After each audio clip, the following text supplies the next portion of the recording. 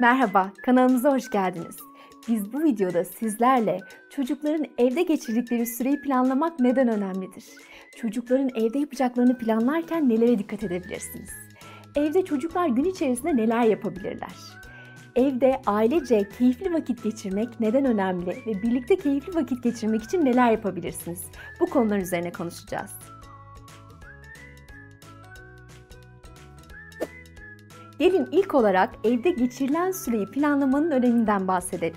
Aile bireylerinin her birinin, özellikle çocukların, gün içerisinde yapılacaklara yönelik olarak belirsizlikten kurtulmaları ve kendilerini daha iyi hissetmeleri için gün içerisinde yapılacakların planlanması çok önemli. Siz de gün içerisinde yapılacakları belirleyerek çocukların evde geçirdikleri süreyi planlayabilirsiniz çocukların düzenli günlük alışkanlıklarının olması ve olabildiğince bu düzene sadık kalınması daha öngörülebilir bir yaşam sağlayacağından çocukların bu sürece alışmaları ve bu süreci benimsemeleri kolaylaşır. Peki çocukların gün içerisinde yapılacaklarını planlarken nelere dikkat edebilirsiniz?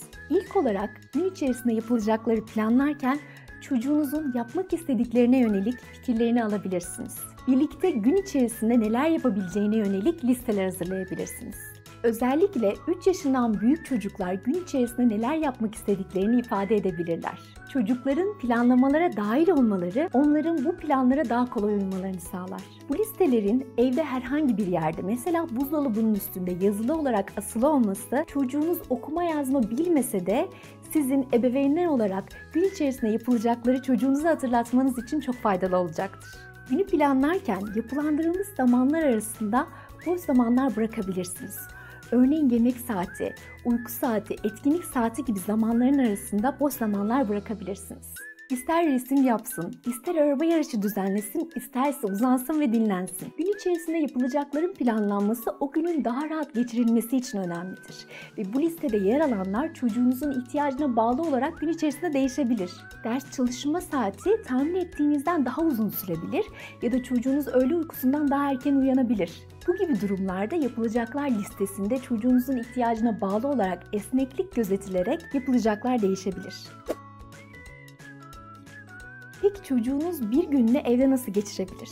Örneğin gün içerisinde yapılacaklar listesinde uyku saati, oyun saati, ders çalışma saati gibi zamanlar yer alabilir. Bu zamanların arasında her seferinde çocuğunuzun hareket edebileceği hareketli etkinlik zamanlarının olması çok önemli. Çocuğunuzun gün içerisinde yapacaklarını planlarken belli alışkanlıklarını korumaya özen gösterebilirsiniz. Örneğin yemek saatleri, uyku saatleri her gün aynı saatte sabit kalabilir. Gün içerisinde çocuğunuzun telefonla konuşarak ya da görüntülü aramalar yaparak akrabalarınızla ya da arkadaşlarıyla iletişim kurabileceği zamanlar olabilir. Bu listede çocuğunuzun eşyalarını toplama, odasını düzenleme gibi ev işleriyle ilgili sorumluluklarını yerine getirebileceği zamanlar olabilir. Yine gün içerisinde ailece keyifli vakit geçirebileceğiniz zamanlar düzenleyebilirsiniz. Peki evde ailece birlikte keyifli vakit geçirmek neden önemli? Evde ailece birlikte keyifli vakit geçirmek bu sürecin getirdiği sıkıntılardan aile bireylerinin uzaklaşmalarını, kendilerini mutlu ve güvende hissetmelerini sağlar. Özellikle pandemi döneminde birlikte geçirilen zamanların artması çocukların kendilerini daha güvende hissetmelerini sağlayacaktır. Peki ailece evde keyifli vakit geçirmek için neler yapabilirsiniz? Her gün düzenli olarak hareketli oyunlar oynayabilir, müzik eşliğinde dans edebilirsiniz. Ayrıca birlikte oyunlar oynayabilirsiniz. Her gün düzenli olarak çocuklarınızın oyunlarına katılmak için vakit ayırabilir ve birlikte eğlenmeye özen gösterebilirsiniz. Bebeğinizi kucağınıza alarak müzik eşliğinde dans edebilir ve müziğin ritmini daha rahat hissetmesi için ayaklarının altına hafifçe dokunup tempo tutabilir ve müziğin ritmini daha rahat hissetmesini sağlayabilirsiniz. Bebeğinizle birlikte su oyunları oynayabilirsiniz. Su içerisine attığınız oyuncakları kaplardan çıkarıp başka kaplara aktarabilir ve birlikte kurulayabilirsiniz.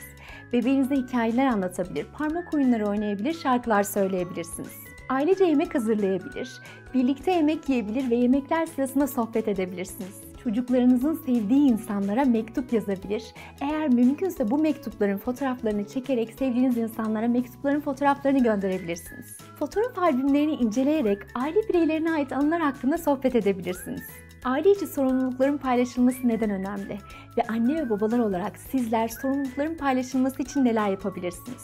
Bu konulara yönelik diğer videolarımıza göz atmayı ve kanalımıza abone olmayı unutmayın. Ayrıca birlikte hangi oyunları oynayabiliriz diye düşünüyorsanız evde birlikte oynayabileceğiniz oyun önerilerimizin bulunduğu Oyun Zamanı kitapçığına göz atabilirsiniz.